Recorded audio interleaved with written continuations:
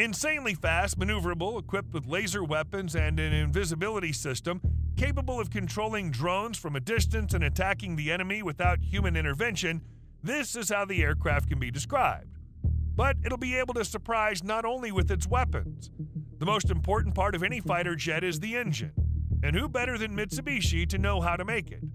Despite the fact that the technology of hypersonic engines is complex and requires solving many technical issues related to cooling components at very high temperatures, an engine of Godzilla copes with all the challenges.